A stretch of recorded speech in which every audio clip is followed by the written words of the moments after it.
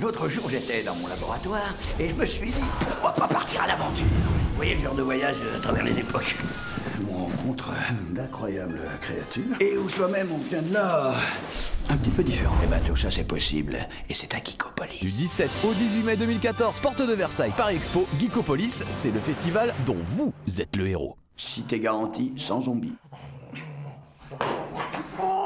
Allez Couchez Toutes les informations sur geekopolis.fr.